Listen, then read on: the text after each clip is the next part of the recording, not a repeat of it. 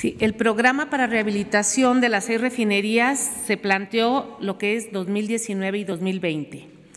También les explicamos aquí que cuando llegamos prácticamente las refinerías pues no tenían mantenimiento, estaban muy descuidadas, los almacenes los encontramos vacíos, eh, se tuvo, se ha hecho un gran esfuerzo por parte de los trabajadores, por parte de la dirección de Pemex.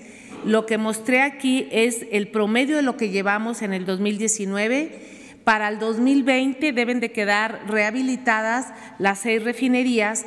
Cada año las refinerías tienen un programa de mantenimiento mayor. Cada año se había abandonado ese programa. O sea, desde que nace una refinería, cada año tiene su programa de mantenimiento mayor y se había abandonado. Nada más estaban actuando para emergencias. Entonces, eh, Pemex está haciendo un esfuerzo muy grande, son muchas compras, es mucho refaccionamiento y con eso estamos caminando. Pero es para el 2019 y el 2020 las seis.